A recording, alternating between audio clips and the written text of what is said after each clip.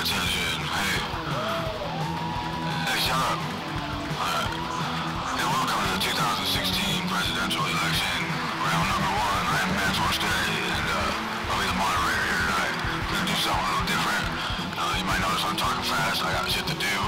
Uh, we're gonna do this real quick. I can I can tell you who's gonna win based on this question alone. So open your ears, shut your pie hole. All right.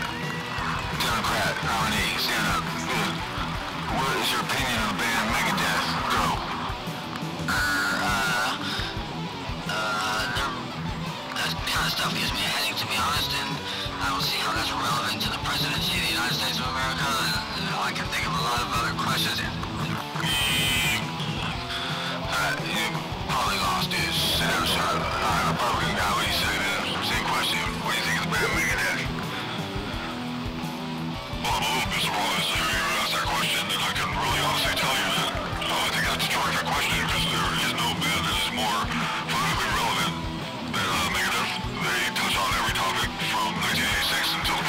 Pretty much uh, stay on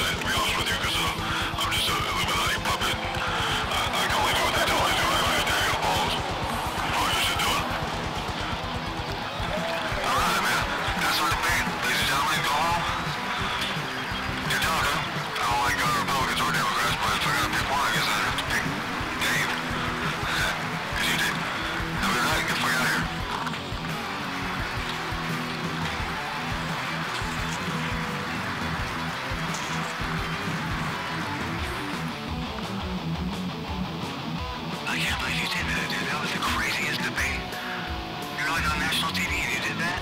And got seeing everything? Uh, for Rowan. I know, but man.